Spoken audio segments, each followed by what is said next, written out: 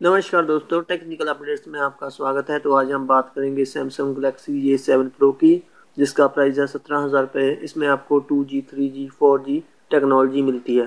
तो दोस्तों, अब हम बात करेंगे इसके डिस्प्ले के बारे में, जो इसकी टाइप है capacitive touch screen sixteen M colours है और इसका स्क्रीन साइज़ है five point seven inch full H D screen है मल्टी टच है और जो उसकी प्रोटेक्शन है, वो भी कंफर्म करनी है। और दोस्तों, अब हम बात करेंगे इसके ऑपरेटिंग सिस्टम के सीपीयू एंड जीपीयू के बारे में।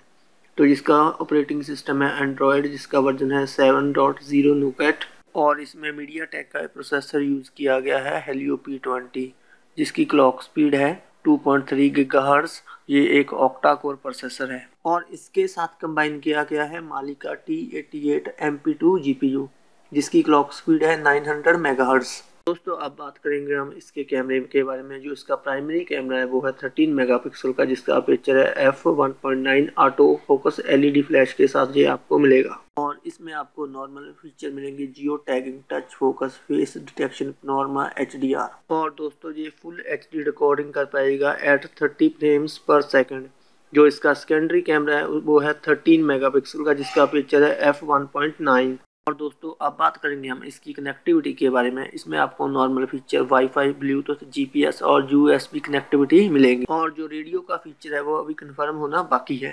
और दोस्तों, अब बात करेंगे हम इसके नॉर्मल फीचर के बारे में। तो इसमें आपको मिलता है फिंगरप्रिंट स्कैनर जो फ्रंट पे है accelerometer gyroscope proximity and compass और इसमें H T M L five browser है और मैसेजिंग है। और दोस्तों, अब बात करेंगे हम इसकी मेमोरी के बारे में। जो इसकी इंटरनल मेमोरी है, वो थर्टी टू जी बी और थ्री जी बी इसकी रैम है।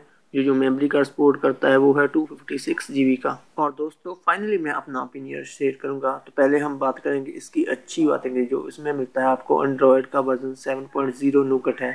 Five point seven inch full H D display है। ऑक्टा कोर प्रोसेसर है। Two point three giga hertz का। जो micro S D card support करता है, वो है two fifty six G B का। और बत्तीस जी बी इसकी इंटरनल मेमोरी है। तो जो मेरे अकॉर्डिंगली ये एक अच्छी बात होगी इसमें। और दोस्तों, जो मुझे इस फ़ोन में अच्छी बात नहीं लगी है, वो है मीडिया टेक का प्रोसेसर हेलियो पी ट्वेंटी को यूज़ किया है। अगर इसकी जगह स्नैपड्रैगन 625 यूज़ करते तो एक अच्छी बात होती। क्योंकि जो स्नैपड्रैगन 625 प्रोसेसर है, वो एक बैटरी इफिशियंट प्रोसेसर है और कोई भी हीटिंग इशू उसमें आपको नहीं मिलेगा। हो सकता है मीडिया टेक के इस प्रोसेसर में आपको हीटिंग इशू या बैटरी कंजप्शन आपकी ज़्यादा हो। और जो दूसरी खामी है इसमें है वो इसका ब्लूटूथ उसका वर्जन है 4.1 आजकल 4.2 चल रहा है या फिर 5.0 यूज़ करना चाहिए था। और जो तीसरी इसमें बड़ी खामी है वो है micro U S B version 2.0 latest अब 3.1 चल रहा है एटलीस्ट 3.0 तो इसमें डालना चाहिए था।